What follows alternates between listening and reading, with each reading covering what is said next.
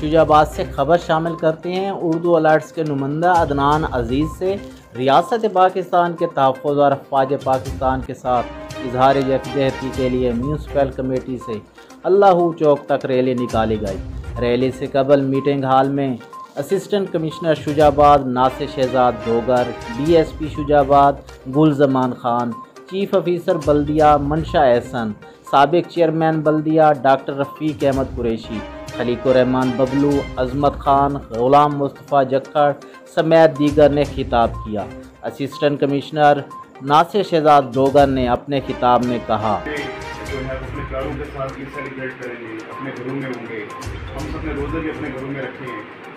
लेकिन वो जवान जो हमारे सड़कों पर मौजूद हैं, जो साल में शायद एक दफ़ा उनको मिल पाती है, बाल वो भी नहीं मिल पाती है। जो हज़ारों की तादाद में शहीद हो चुके हैं जिनके बच्चे जो हमारी वजह से करना उनको सियासी तकरीब के अख्ताम पर सियासी पार्टियों के नुमाइंदगान सिविल सोसाइटी तलबा और शहरीों की कसी तादाद ने रैली में शिरकत की और पाक फ़ौज के हक में नारे लगाए।